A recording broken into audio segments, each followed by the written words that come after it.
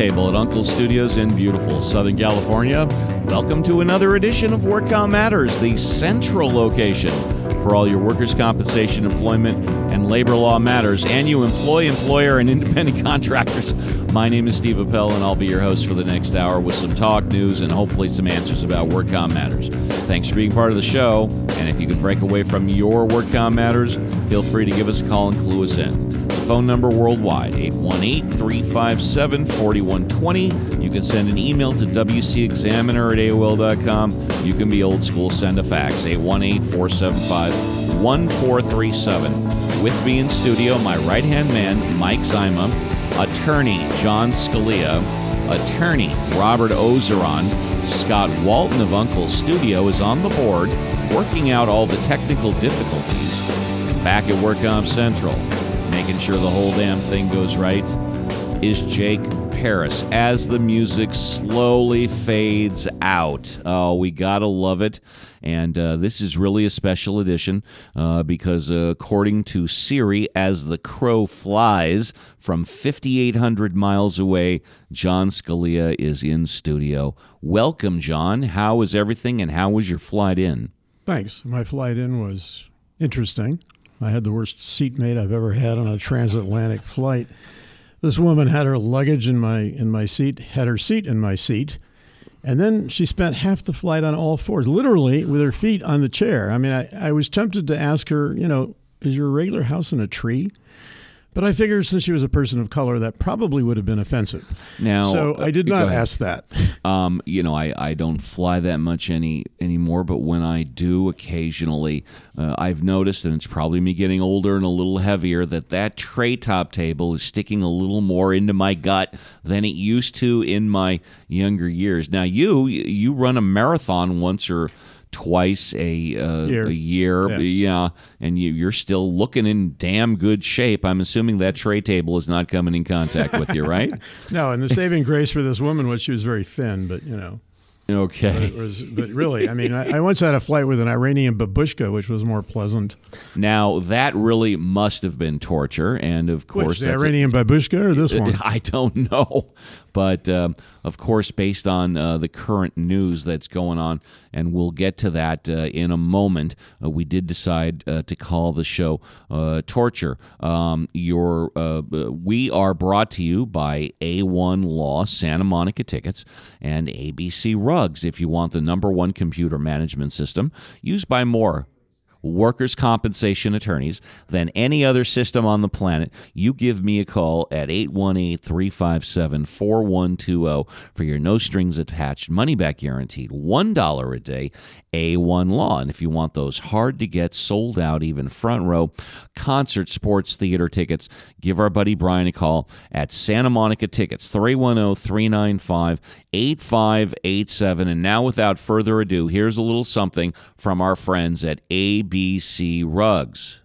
ABC Rugs has been in the business of manufacturing and direct importation and exportation of Persian and Oriental rugs for more than 39 years. ABC Rugs is a direct importer and wholesaler of antique, Moroccan, Oriental, and Persian rugs. Established in 1978, ABC Rugs is definitely old school. 323 897 5444. That's ABC Rugs. 323 897 5444. And um, those are our sponsors of the show. And of course, uh, the number one news uh, tonight, and Mike's going to get into that a little later, is uh, the torturing and the death uh, of Jamal Khashoggi. Alleged. Alleged, yeah. It's also alleged that they cut him up and uh, sent in a cleaning crew afterwards.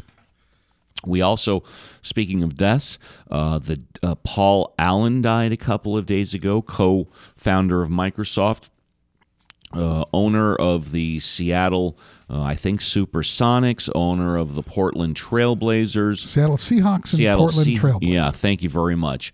Um, we also have uh, updated news on the Aliso Canyon. Uh, I believe uh, the a group of firefighters have filed a lawsuit uh, against the canyon for uh, We, we got Being some cumulative being- injury claims yeah, coming being out. It. exposed to uh, uh, chemicals.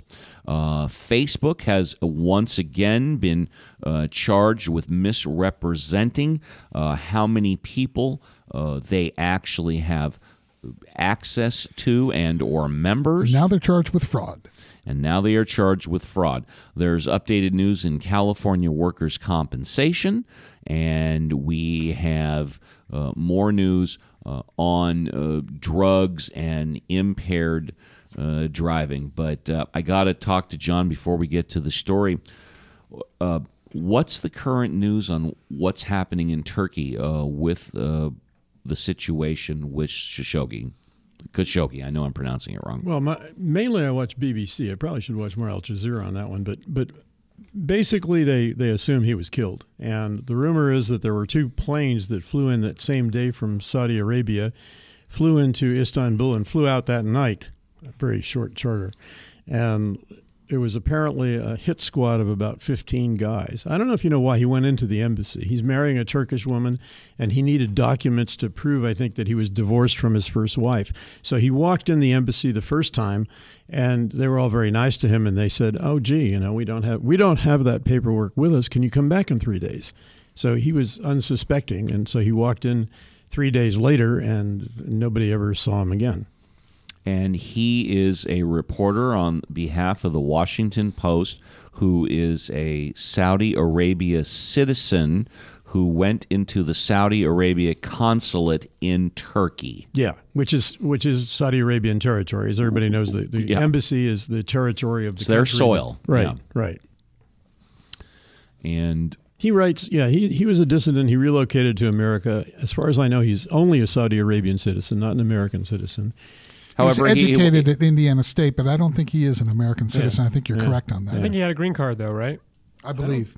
I don't know. I, I Yeah, I know he was he a had a regular columnist at the Washington Post. Yeah. and The real problem is that all the evidence points to the fact that he was probably murdered and maybe dismembered and then flown flown out. And of course, the problem is that the United States has a huge defense sales contract with Saudi Arabia.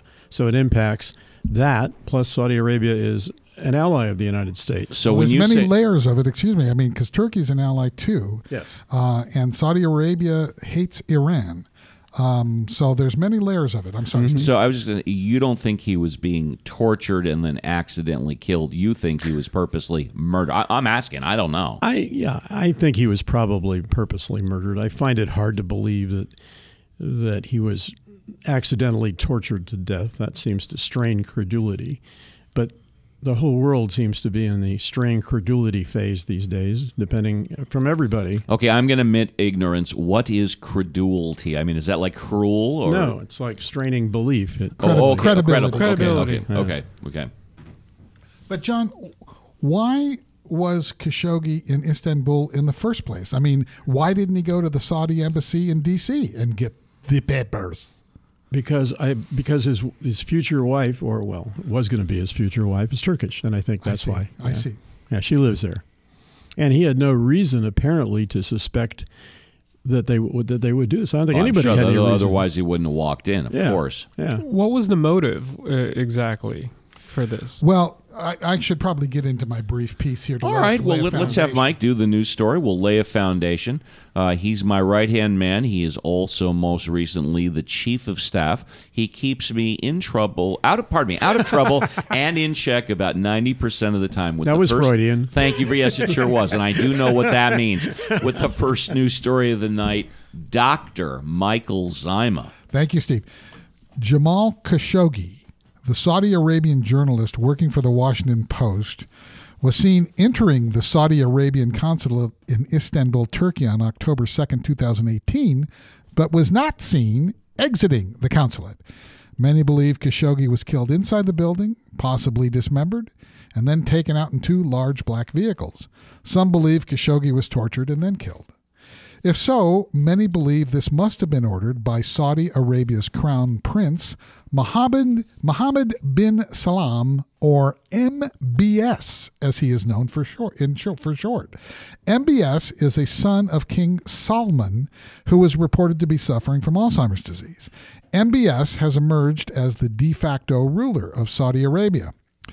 MBS has been credited for a series of reforms, such as allowing women to drive automobiles. What a concept, guys. Uh, but he has also been cited for purging political rivals, imprisoning women's rights activists, and increasing the number of executions. Khashoggi had been critical of MBS. Now, John, I'm wondering what type of ink is this getting over there in Europe? Although I, I, you're getting most of your news from the BBC, um, but Khashoggi was an interesting guy. I mean, for example, he knew Osama bin Laden. He tried to supposedly he tried to get Osama bin Laden to give up violence. Well, we know how well that turned out. Um, but uh, Khashoggi really thinks that MBS is a bad guy. Mm-hmm. And initially, when you know, the, it came out that oh, women can now drive automobiles. Oh, the guy must be so progressive and blah blah blah blah blah. But that's not really his amb- that's not really the apparently the type of guy he is. So over there in Europe, I mean, do they have a read on this MBS guy? I think the short answer is no. I really? Think, yeah, I think I think they portray him in the beginning. They certainly portrayed him as a reformer. So most most of the press viewed him as a guy who was going to modernize Saudi society, and I think this whole thing with Khashoggi has obviously placed that an issue, and people are wondering, well, maybe Khashoggi had a point. Maybe the guy's not a real reformer. I mean, let's face it. You know, Saudi Arabia is still under Sharia law.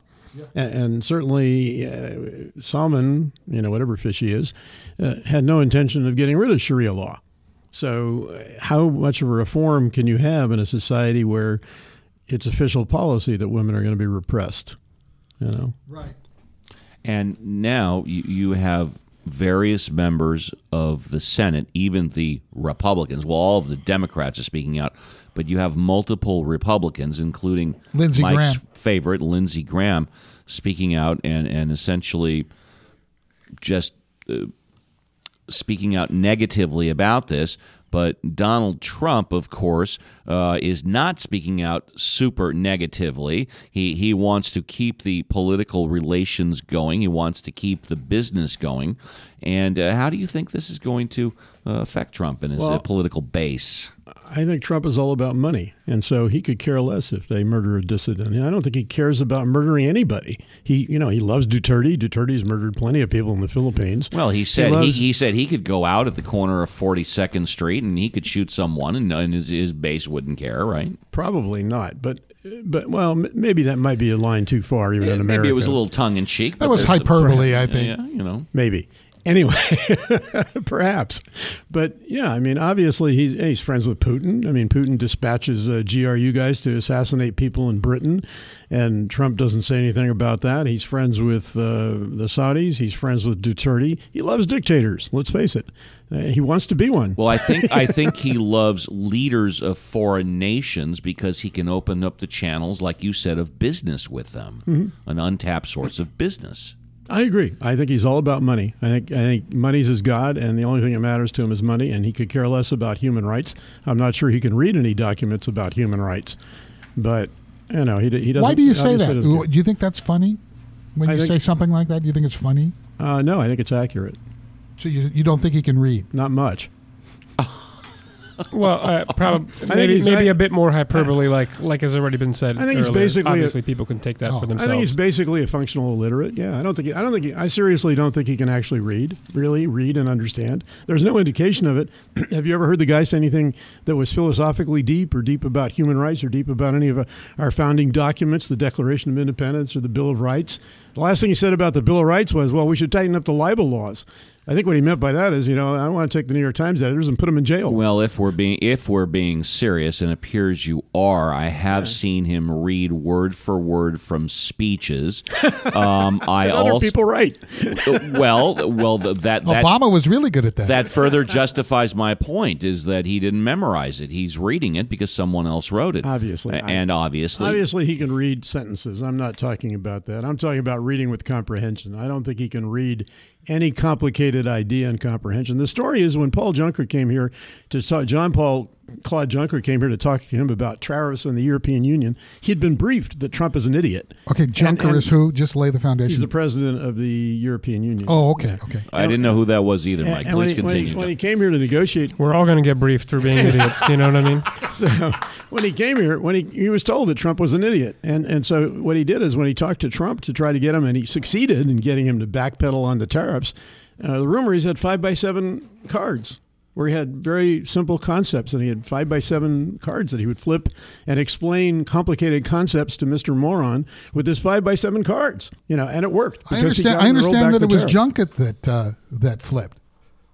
Am I wrong on that? I mean, maybe I'm an idiot who can't understand a concept. in the it end- was Juncker that. Yeah, tripped. in the end, the Because of- actual be- negotiations went Trump's way. Yeah. because of the tariffs. yeah. So, So who's the idiot? Well, well, obviously results speak for themselves, but going into it, obviously you could also talk a lot of smack. Results Uh, results don't speak for themselves because America's clearly the largest. You know, America's clearly the largest and most powerful economy in the world. So obviously, when you deal from a from a position of power, uh, and and if you don't care about anything else, you're obviously going to. But don't you look? It looks, it looks a little bad to call somebody an idiot going in and then lose. Doesn't that look bad all around? I didn't say Juncker called him an idiot. I said Well, he was getting briefed, briefed on the fact that Trump was incapable of understanding. if either side is getting sophisticated some information that's so like negative and defamatory about the other, and then they end up losing, uh, there's probably because they set themselves up for failure by underestimating. That's why you side. never, uh, ever, Yeah. ever underestimate your opponent. It's like Trump's book, The Art of the Deal. You know, so uh, I don't know. I've actually never read that book. I was going to say I never Nah, read it that's a either. joke, but I think that's in there. I do know this that that when Ru- Trump was running for presidential office, there was uh, an analysis done that the average uh, uh, words, concepts, phrases in his speeches were about a fourth grade reading level. But then again, that might be a majority of his Yeah, base. That might be on purpose too. They tell you, for example, as a lawyer, when you're going to be talking to a jury, you're supposed to pick high school. I don't know about fourth grade, right? That's a bit much, right? Well, That's like coloring. well, I think and No, stuff. no, I, I read But- the same. Yeah, I read the but same But you're thing supposed Steve's to pick high about. school. Well, Yes. the average newspaper is not even at a high school reading level. It's at a it's at a a, a, a, a m- middle school reading level, Yeah. like eighth grade at best. The Well, average a- newspaper. A jury is 12 people, so they say high school is how you're supposed to talk to them. That type Twelve of people who don't have the smarts to get out of jury duty. Please Well, continue. okay, but I could only assume that if you're going to talk to a larger group, perhaps that you would actually decrease the the level at which you talk to them. So a smaller group, you can talk right one on one. You can talk high-minded, graduate level things, right? In a 12 pack of like a jury, it's probably more high school level. And if you're talking to millions and millions of people. It depends on who you're talking to. If you're talking to the whole world, you can imagine how ignorant some people can be, all right, across the whole world. Uh, but if you're talking about the U.S., maybe eighth grade, maybe like high school still, low But you high know, school, I, I gotta say, I agree with John. I don't think I've ever heard Trump say anything that was remarkably deep. Have you, Steve? Well, I'm trying to think of anything remarkably deep that any politician says. I, I think. I think going into the Korean uh, summit, he said something like, uh, uh, "Any idiot can make war, but it takes a true, a brave man to make peace," or something. It was pretty deep, actually. It was a meme going around. I saw Sounds it on like the a internet. Hallmark card to me. Yeah, it sounded like one. It sounds biblical to me. It was. It was very deep. Blessed are the peacemakers. But again, which you know, that was on the internet. reading. The Old Testament's nothing but a war ditty. My name is Steve Appel. You're listening to Work Matters. We're brought to you by A1 Law, Santa Monica Tickets, and of course, ABC Rugs. I wanted to uh, say something about a gentleman that I have always uh, respected.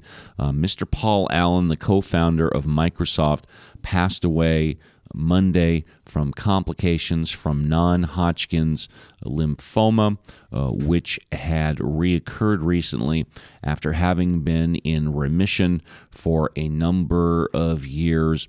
You know, even though he was worth over $20 billion, and even though uh, he gave away continue, will give away a lot of his money to charity uh, he of course was with Bill Gates, the founder of Microsoft, and possibly without him, Microsoft would have never been uh, developed uh, where Allen was more of the hands-on guy building the board. Gates was more uh, putting the thing uh, together, getting the Apparently, context they were together. yin and yang, and they did have their arguments, but it which is resulted why in it, it creativity. you know, just like me and you. I mean, come on, you know. we do go at it. Yeah, yes, we do. That's why we make such a great partnership because we fill gaps. You know what I mean? Yes. yes. Um, I can't say enough uh, about Paul Allen. Although, although I think it was Bill Gates who uh, uh, stole uh, the uh, phrase from what Leonardo da Vinci uh, when uh, talking about how Microsoft developed, because Gates and I think Allen, but I'm not sure, they worked at Apple Computing for a bit, and they essentially stole the Windows idea from Apple. I And- heard that a uh, long it's time ago. it's true, and there are shows on this. And Bill Gates came out and said, or he repeated uh, what Leonardo da Vinci said, and that is good artist copy, great artist steal. Well, Bill Gates Bill Gates stole the Windows idea from Apple, made a couple of uh, adjustments so it would not be copyright infringement, and of course you had Microsoft because at that time IBM uh, refused to sell their hardware or to share their hardware, and Bill Gates said, "You know what? I don't care about the hardware. I want the damn software to make the computers run." I believe i i in turn, it ended up that Bill Gates funded Steve Jobs when Apple needed money and they were about to go bankrupt. Now that I didn't know. I thought he more Much so later. controlled him and psyched him out, and I, I Oh, was not the- aware of that. In the early years, yeah. If you've seen the movie Jobs, I think it was Michael Fassbender who played Steve Jobs, right? I, I've seen both Steve Jobs movies because there was the other one with uh, who was the guy who ended up uh, replaced Charlie Sheen in Three and a Half Men. so my question is, do you not recall the plot of the movie you watched there, boss? I. I, I guess I don't recall the plot. Why don't you tell me?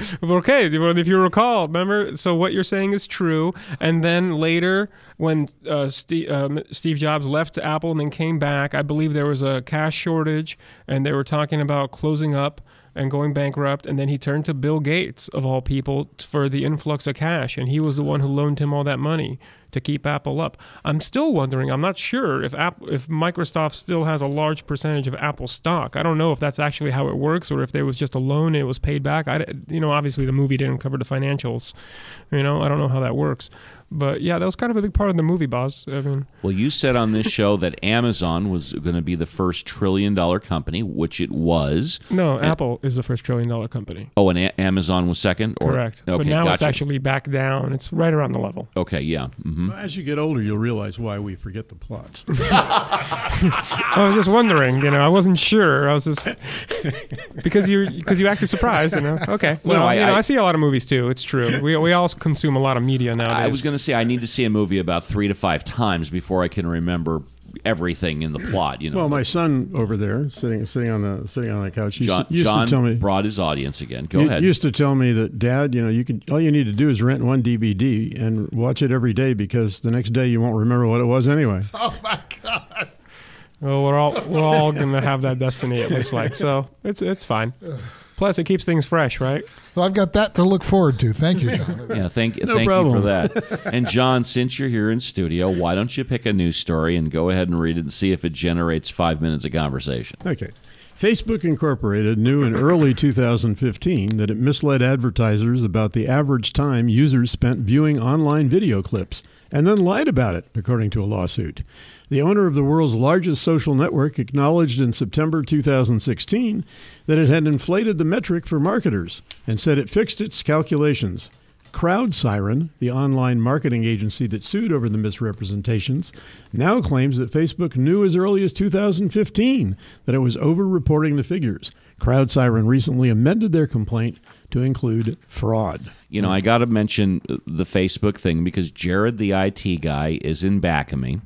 And uh, Jared was hounding me for like a year or whatever to do a video thing.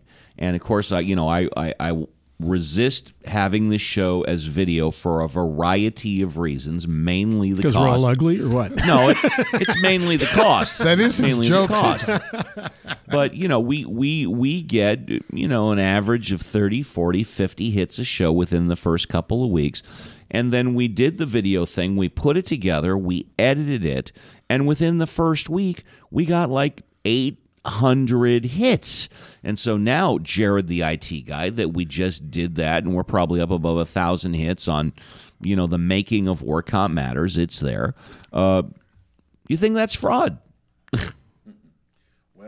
Well, Come on closer to the mic, Jared, the IT guy. You can take Jared, my- the IT guy. Jared, the IT guy. yeah, there is definitely misleading information there when you're an advertiser. Um, advertisers um, um, are looking at the numbers and they're going, "Wow, um, somebody's viewed my video a hundred times." Well, in reality, it's a little video ad that's kind of playing while you're reading something else. You're reading about your niece or nephew or whatever, and the video's playing over on the in the column, which, and that's which and may that's not even be on your screen at the time. it could or- possibly yeah. be. Well, when it scrolls down, it does stop. So it, you know, the minutes that someone watched a video isn't really. It's it's very misleading because it, it's not. You're not always watching what's going on in the left right column. You're you you're reading the main thread, which is uh, you know your niece or nephew's baseball game or whatever.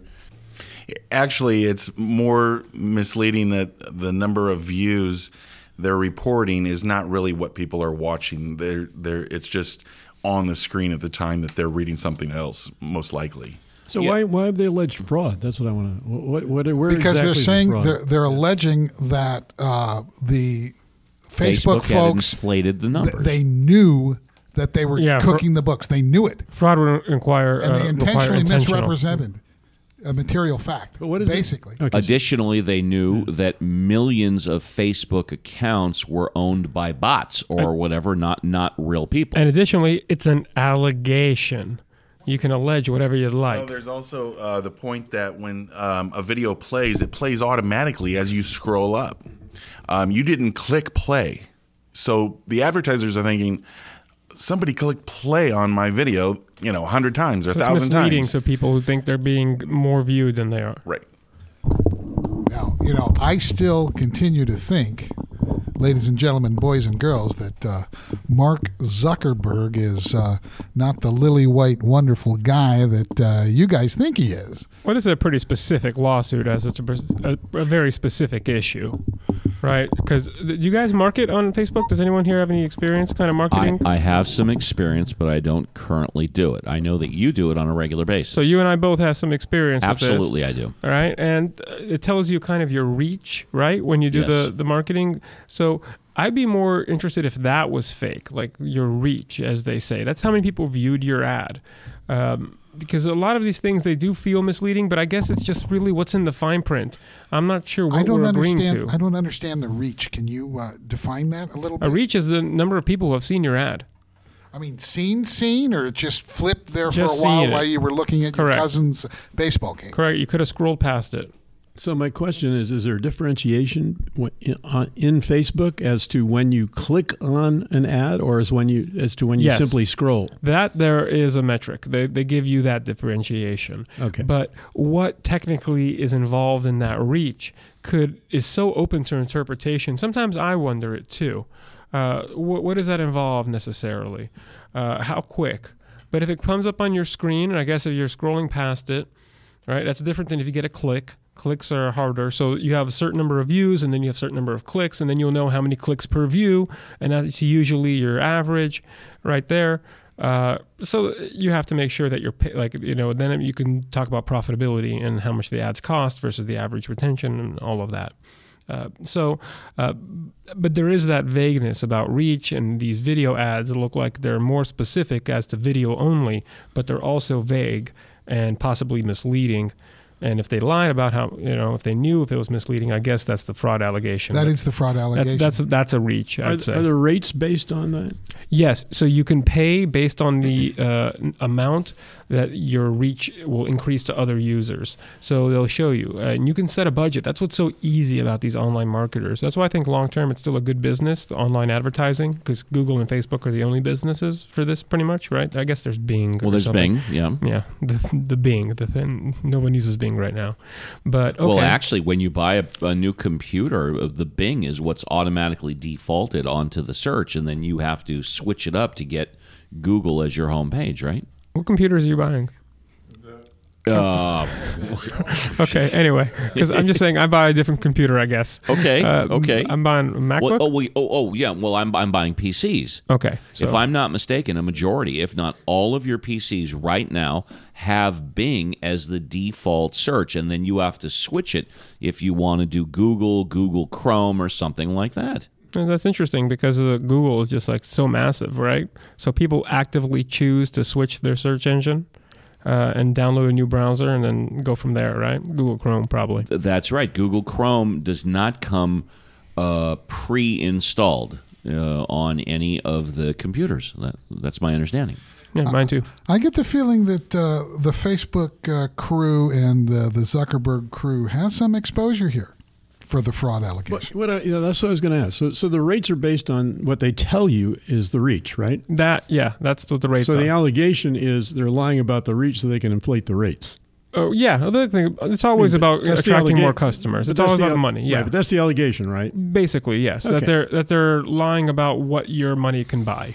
Okay. Right, you And- can buy this much, but in reality, you're not buying that much. You still think that's a reach for the plaintiffs here? well, it depends what the facts are. I don't know. I gotta. I take a didn't look. know that was the suit. I, I wasn't aware that the suit was where they were advertising how much you could reach. The suit was based on how much they reported you did reach. Here, this suit is based on video and the length of time that uh, a prospective uh, advertise, uh, advertisee, I don't know, Advertiser. Avid, no, because you're the person who's receiving the advertising. consumer would be potential consumer. Okay. Uh, spent looking at that video. Right, Because my- that's my- what's vague. Because maybe they weren't even looking point. at it directly. But that's my point exactly. Fa- uh, the suit is not against Facebook for telling people, okay, if you advertise, you will reach this many people. It's after your advertising is completed, Facebook gave you your advertising report. Report card, You- yeah. Yes, which said you did reach this many people. Correct, and then that's and then you did not. Yes, that's my understanding. so you're Yes. assuming that you've reached these people, that they've watched your video, so you're more likely to pay more money in the future. reported to you that you have reached this many people, and the suit says you have not. Yeah, Okay, but that's even if exactly they've what we have to look into. Even if they've lied about it, how is that distinguished from puffery? I- I That's the problem. Exactly. That's why we have to look at the facts on something like this to see exactly what type of uh, detailed reports were coming back to the consumer or the person doing the advertisement uh, and purchasing it from the consumer of uh, Facebook's advertisement, and then see what was said there. If Facebook is telling you that it's direct and it's this and it's that, or you have emails from a marketing rep, anything of those nature, you know, that's going to be explicit. That's going to be a violation. And but just- if it's just, just- puffery, then yeah, John's right. just- we should explain what puffery is for uh, our listeners who don't necessarily. Well, it's what it's what Trump does, right? I mean, let's be honest here. That's we all know what puffery is. Hyperbole. it's hyperbole. It's the greatest, right? It's But- the best. But you learn in the, like your first day of law school that puffery is not illegal. that generally no, especially and- for business. It's and they- correct. and they use the example of car salesman. world's usually- best coffee, am I right? Yeah, right. There you the world's best now, I want to ask Jared, the IT guy, but let's not mess with Mike's microphone. Just, just not. When we did the making of Work Comp Matters and we got those not 800, 900 hits in the first week, we did not pay for advertising for that, right? That was all organic per se. Is that correct? Yes, those were organic uh, views, whether they were clicked on or not. Right. But I, I strongly believe that they should their metrics should be based on who clicked and who was actually interested. Yeah, but you know, we we do the show here. Uh, on the average, we get about fifty hits in the week, maybe closer to thirty.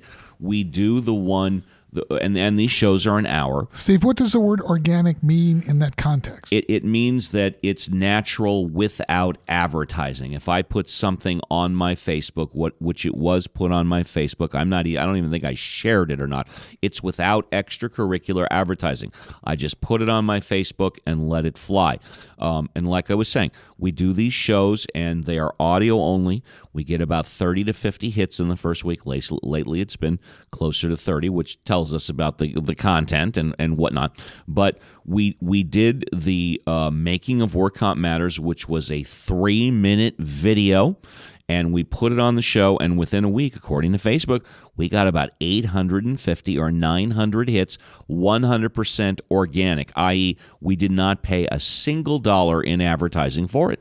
Well, somebody must be listening to us. I thought it was just you clicking refresh at night. That's what I was. I would have sworn, but I talk to people, and some people do actually listen. Yeah, I I, cl- I click there. refresh, but it's not on my Facebook. Trust me. My name is Steve Appel. You're listening to Work Comp Matters. We're brought to you by A1 Law, Santa Monica Tickets, and of course, ABC Rugs. Uh, we'll be back with more talk, more news, hopefully some answers for you employees, you employers, and independent contractors. But right now, it's time for a musical break from the Cherry Blue Storms and Baby, You're a Rich Man. How does it feel to be one of the beautiful people? Now that you know do you want to be? And have you traveled very far? Far as the eye can see. Baby, you're a rich man. Baby, you're a rich man too. You keep all your money in a big brown bag inside a zoo. What a thing to do. How does it feel to be one of the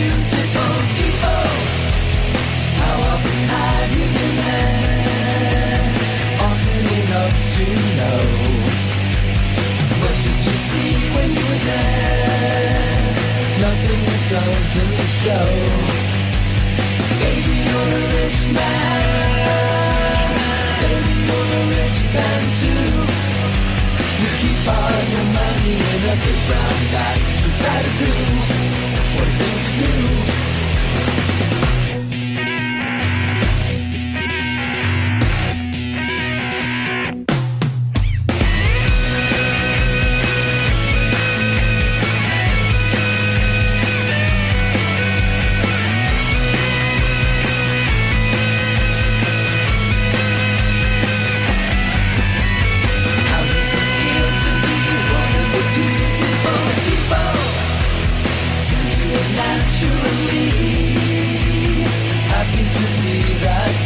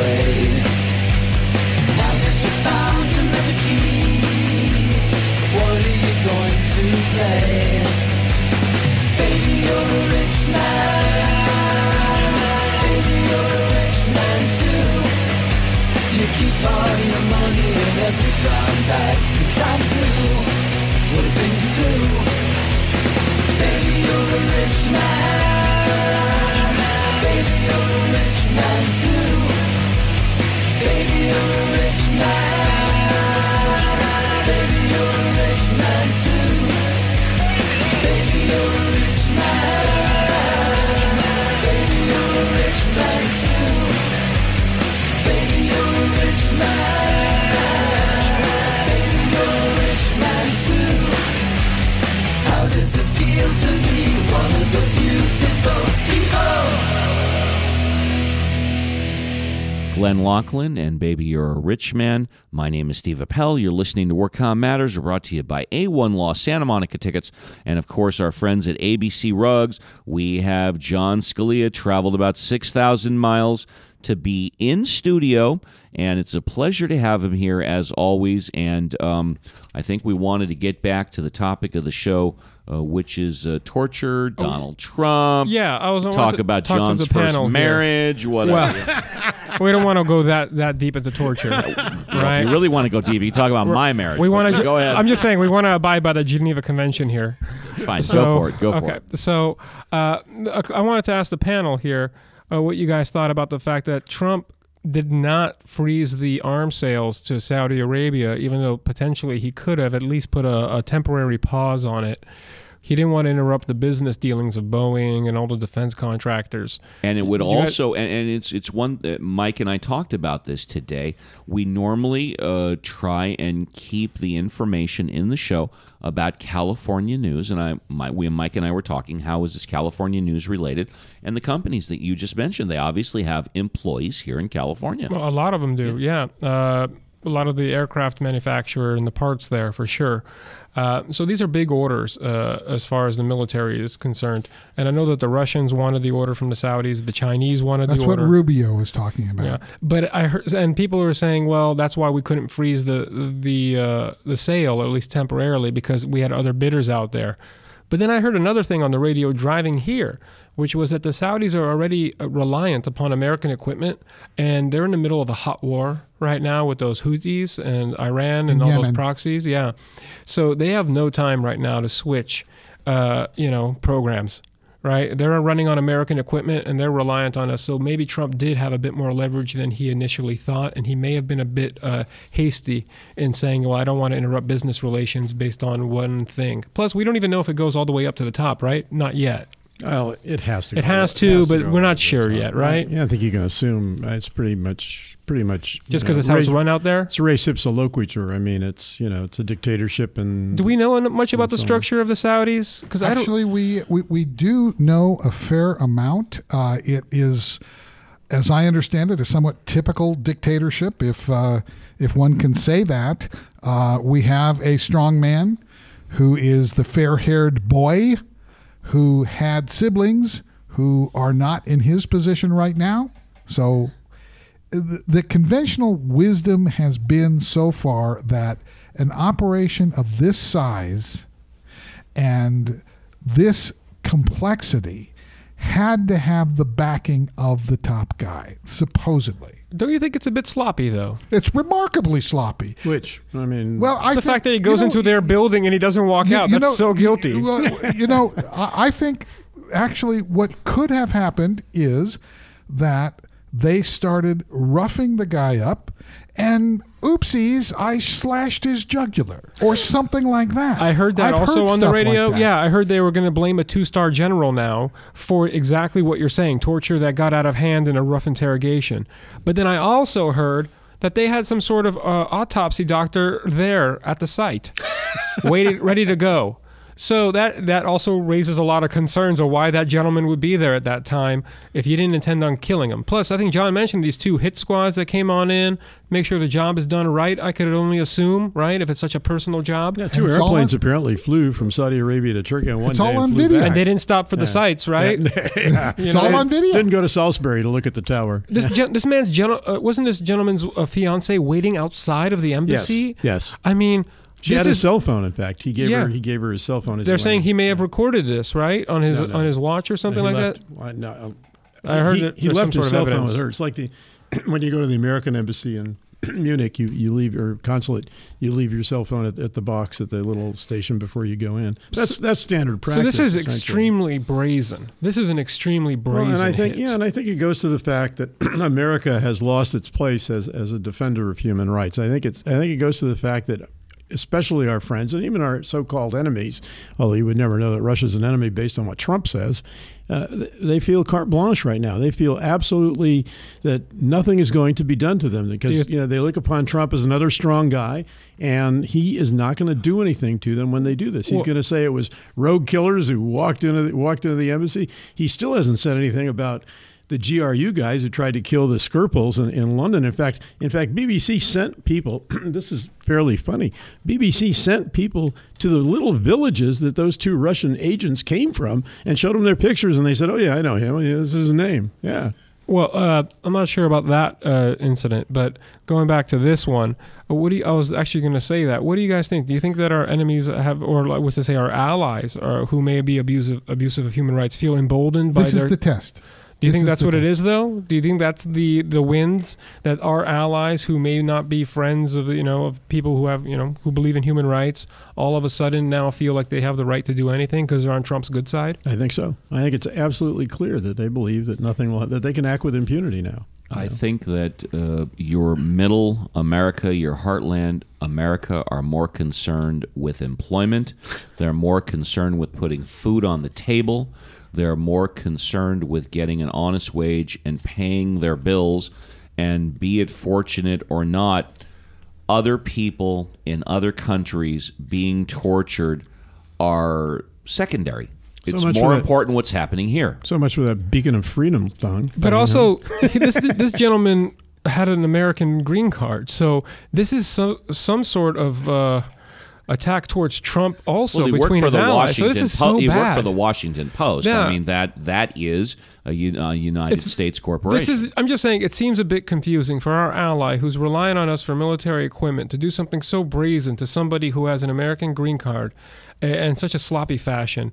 Uh, it, it- something doesn't add up if just it was yet. done, Put it that way. If it was done more uh, less sloppy. Uh, well, that would that would indicate at least it came probably more likely from the top, in my Well, I- opinion. I don't think it was done sloppily. I mean, it was done brazenly. You're right on that. Very brazen. But it wasn't done sloppily. In fact, I think that's why they've invited the Turks to go search the compound because they cleaned it up. You know, they got Mr. Mr. What do you call those They guys did that come clean in? it up. Yeah, yeah, they had the cleaners come in. Yeah, They- yeah, this is yeah, like a full movie. This is crazy. right. The least they could have had was an imposter wearing his clothes walk out on film. You know. Yeah, you would think. But yeah. still, the fact Yeah. this man had a, a an American green card uh, seems to be some sort of indicator that not is all good on the Trump Saudi relations either way. Because I don't see how they would want to do something like that. Guarantee you, this is going to strain the relations. Yeah, no is- question about it. Yeah, and I guess Trump is still uh, immediately going into fixer mode, trying to soothe things over. But it's hard to soothe over murders. I don't know how Trump's going to try to handle this business deal. He's going to handle it behind closed doors. I mean, out and about, he's not going to say much. But when he gets him on the the red hot phone or whatever,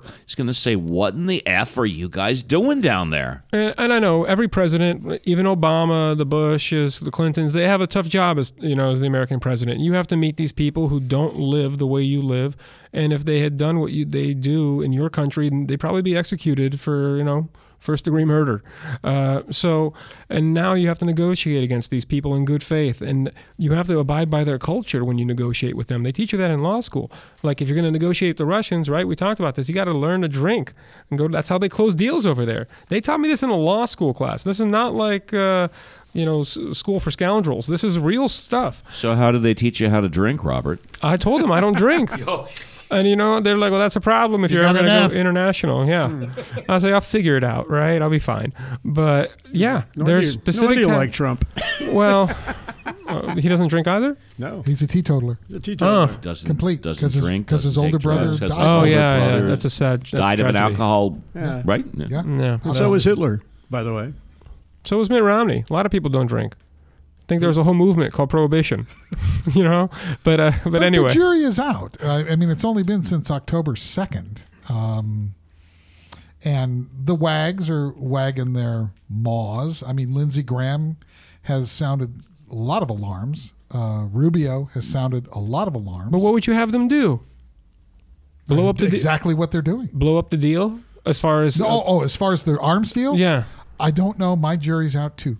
That's a tough call, right? You It's- bet it is. Oh my god! because you don't want to hurt American jobs because you're standing up for what's right, but at the same time, you know, stopping two people from killing each other in a different country. They, I don't know how we have much jurisdiction out there. It's for not this two one. people. That's the problem. If Well- we were two people, we wouldn't have any jurisdiction. But this is the government, uh, which is our ally, committing murder. Well, and, and, the- and that becomes problematic. That does the become- execution rate has gone up, way up since MSB. Am I getting that right? MSB. Yeah. Oh, MBS. All right. MBS. I- I- since MBS has taken over, the, the rate of execution has gone up. You heard what he did in the name of fighting corruption, right? He invited all these gazillionaires to this big fancy hotel, and then he essentially welded the doors shut and imprisoned them there. Ritz Carlton. Yeah. He said, "Well, I'm fighting corruption." What do you guys think the best way to to stop way this out. They had to pay their way out. You know that? I didn't know Oh that. yeah, they had to I buy didn't know the- they got out. Oh yeah, they buy they bought their way out. They had to uh, pay their way out. I see. Yeah. I was going to say, what do you think the best way to stop this is? Maybe it's not being To so reliant which? on the rel- Exactly. oil, right? Well, that because we can't be stand up first to them otherwise. That would be the first thing. Yeah. we have to be energy independent because otherwise, selling weapons to countries at war that are going to be at war anyways, that's a moral decision, and you can come down either way on that. You know, who cares if they have Chinese weapons or, Or Russian you weapons? fund both sides, or like you fund both- United States did with Iraq and That- Iran war. that- exactly. That's a vague. That's a that's a kind of a gray area moral decision where they're going to be committing this war anyways. it's a business decision. Exactly. Well, well, we'll talk the, about. the enemy of my enemy is my friend. Mike was just saying That's earlier. right. I believe that's what Ford said about the Holocaust when he continued to do business with Hitler. You know, it's- so that's it's- the other side of the, Well, t- Ford the was a famous anti-Semite. Yeah, And Ford I- was a by the way. famous anti-Semite. Okay, but so, but that was the rationale. I mean, you know, whatever. What about IBM? Was IBM also a famous anti-Semite? They I don't continued know. to. Were they? They continued to do business with Hitler. Hitler used their stuff as part of the Holocaust. Well, that's why governments have to impose sanctions Yeah. to to regulate businesses because businesses don't make these political decisions or they shouldn't. Or moral ones. Correct. They're, they're they operate on money. That's how they're uh, organized. The world is a business, Mr. Bill. I, I would love to stick my middle finger out to OPEC. I've wanted to do that ever since the OPEC oil embargo in 1973 or whatever. So there we go. We got a plan right here Yeah, uh, on right? Work Comp That's Central. We're going to become energy independent. Then we won't have to send our money out for the oil, and then we could stand up to the Saudis. But for now, we're pretty much beholden to them. Not as much as we were before. It's we're- getting we're- better, right? We're it's actually, the getting lar- better. we're actually the largest oil producer, or about to become the largest oil producer in the world, even bigger than the Saudis. But is it, but I believe it's the crude that we need from them, right? We have different types. So we have shale, we have gas, and we do the most of the refining here. But I still believe that the large percentage of the actual raw crude comes out of there, right? Uh, and It's a lot. yeah, That's for damn sure. and they have billions of barrels down there. yes, they do. So we have to get off of the oil system, except for you know things that need jet fuel, like well, we're, we're going we're going towards that. We're, we're going towards away from fossil fuels. Didn't Kanye West the other day in the Oval Office tell President Trump about a um, a solar jet? We got to talk to Kanye West about this. mean That's ye- a joke, folks. You mean Yay? Is that his Yee. new name? Yee. His new name is Yee. Yee. Yay, Yee. whatever. Yee. Yee. Yee. Y E is his name now. you know, But I've he heard- was talking about a solar jet. I don't know what it is. Trump and Kanye are kindred spirits, huh? yeah. You can't you can't make that stuff up. Uh, My name is Steve Appel. You're listening to Work Comp Matters. We're brought to you by A1 Law, Santa Monica Tickets, and ABC Rugs. We're going to take our last musical break, and we'll be back with our last story after this. One, two, three.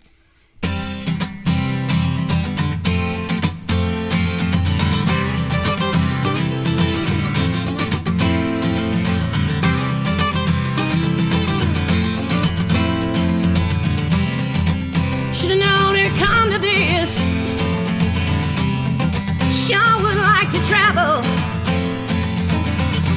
that crazy place behind your eye. Let it all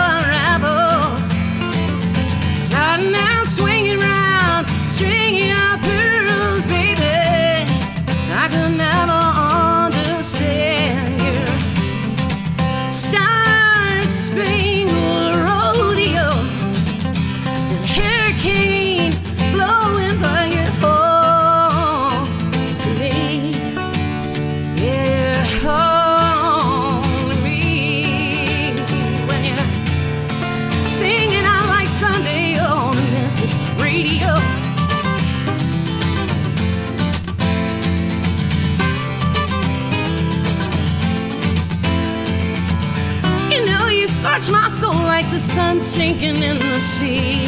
Oh, I got my sweet surrender. You can do no wrong with me.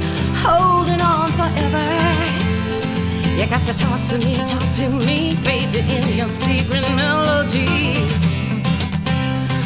Oh, send it, send it, send it